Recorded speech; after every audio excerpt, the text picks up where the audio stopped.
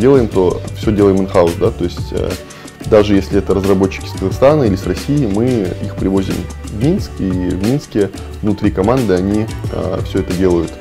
Самые ценные в переговорах, во встрече с инвесторами, это первые 10 минут. То есть первые 10 минут, за которые ты должен продать себя, ты должен продать идею, ты должен вовлечь инвестора э, потенциального так, что он там, в следующие полтора-два часа будет сидеть и тебя слушать. То есть он там, отменит все свои встречи, если ты первые 10 минут э, смог себя продать.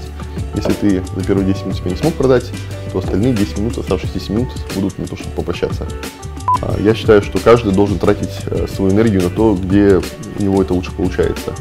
Вот, поэтому команду создать это тоже э, дорогого стоит. И если вдруг, не дай бог, э, получается, что кто-то очень ценный уходит из, ком- из команды, э, я очень сильно, конечно, из-за этого переживаю и там стараюсь всеми силами постараться удержать э, человека, да, потому что там иногда там удержать старого э, там, гораздо важнее, чем найти нового. Поэтому даже когда э, я вижу, что человек может принести э, проекту очень э, большую пользу, там, неважно в какой стране, я прилетаю и э, трачу э, энергии сил э, гораздо больше, чем даже когда я привлекаю инвестора.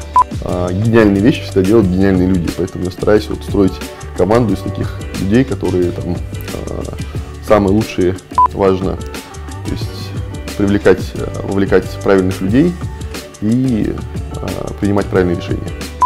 Если идея хорошая, если она масштабируемая, если она глобальная, там, то денег в мире много, даже не внутри Казахстана, а в мире.